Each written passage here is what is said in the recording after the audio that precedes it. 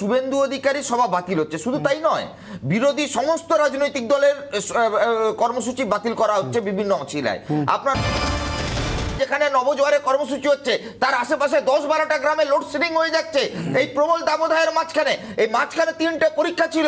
পরীক্ষার্থীরা লোডশেডিং এর কবল, কবলে পড়ে রয়েছে। বলতে দেবেন এবার একটু বাদে আপনি আমার সময় মতো থেমে গেছেন, আপনি দুম করে লোডশেডিং ভাইপো বলে দেবেন অবশ্যই তবু থেমে লেগে যাবেন। কাছে আসি, সৈকত গিরি। একেবারে পার্শ্ববর্তী জেলারই মানুষ। সৈকতবাবু আমার আরেকটা জিনিস অদ্ভুত লেগেছে। সাইকেল নিয়ে দাঁড়িয়ে থাকা আরোহী কথা বলছেন যিনি, মারা গেছেন অত্যন্ত দুর্ভাগ্যজনক। কিন্তু কাদের ঠিক করে রাখার কথা আগে থেকে? বিরোধী দলনেতার কনভয় যাবে, তার কী ধরনের নিরাপত্তা আছে আমরা সবাই জানি।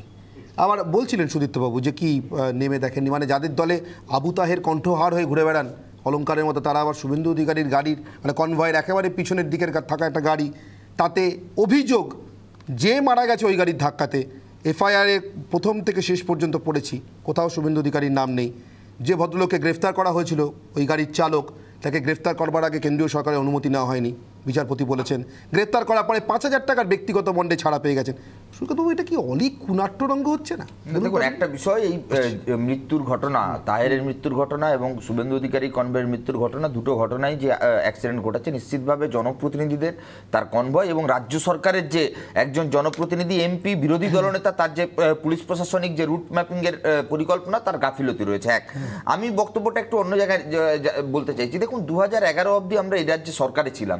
আপনি যে পয়েন্টটা আলোচনা করছিলেন এগারোর আগে এই রাজ্যে তৃণমূল কংগ্রেস কোনোদিন আমাদের বিরুদ্ধে অভিযোগ করতে পারবে না। কলকাতায় কোনোদিন একুশে জুলাই কিংবা কলকাতার বুকে তৃণমূলের কোনো একটা র্যালি কিংবা তৎকালীন বিরোধী দলনেতা যিনি ছিলেন তার কোনো একটা সমাবেশ সভা সেই সব করতে আমাদের দিক থেকে প্রশাসনিক দিক থেকে কোনো রকম কোনো সমস্যা তৈরি হয়েছে। প্রশ্নটা আমরা বামপন্থীরা বরাবর মনে করি যে যে কোনো গণতান্ত্রিক রাজনৈতিক পরিকাঠামোর মধ্যে বিরোধী দল থাকবে সেই বিরোধী দলের রাজনৈতিক কর্মসূচি করার সম্পূর্ণ স্বাধীনতা রয়েছে। আজকে প্রশ্ন হচ্ছে শুভেন্দু অধিকারী সভা বাতিল হচ্ছে। শুধু তাই নয় বিরোধী সমস্ত রাজনৈতিক দলের কর্মসূচি বাতিল করা হচ্ছে বিভিন্ন অছিলায় আপনার মনে আছে কলকাতা শহরের বুকে আমরা একটা ইনসাফ সভা সভা করতে চেয়েছিলাম। সেই ইনসাফ সভার মঞ্চ বাঁধতে পুলিশ তার পারমিশন দেয়নি।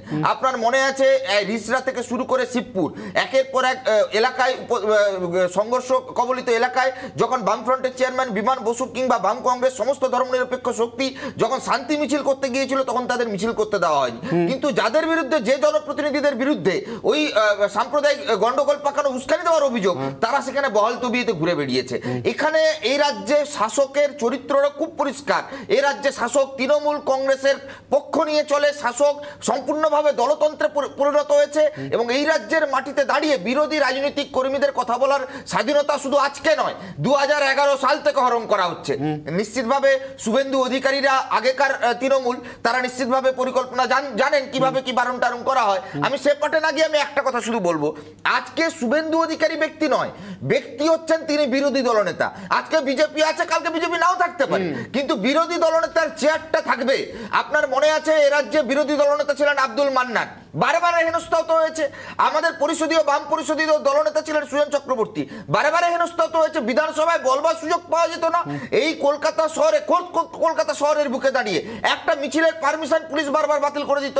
কিন্তু উল্টো দিকে আপনি তাকিয়ে দেখুন কোচবিহার থেকে বীরভূম। এত সুন্দরভাবে ষাট হাজার সত্তর হাজার লোকের মিছিল হচ্ছে ছ হাজার সাত হাজার পুলিশ হাঁটছে। আমি শেষ করছি। একটা গ্রামের একটা এলাকায় যেখানে নবজোয়ারে কর্মসূচি হচ্ছে তার আশেপাশে দশ বারোটা গ্রামে লোডশেডিং হয়ে যাচ্ছে।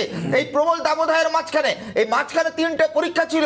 পরীক্ষার্থীরা লোডশেডিং এর কবল কবলে পড়ে রয়েছে। কিন্তু দেবো সুন্দরভাবে নবজোয়ার আবার বলতে দেবেন এবার একটু বাদে আপনি আমার সময় মতো থেমে গেছেন আপনি দুম করে লোডশেডিং ভাইপো বলে দেবেন অবশ্যই তবু থেমে লেগে যাবে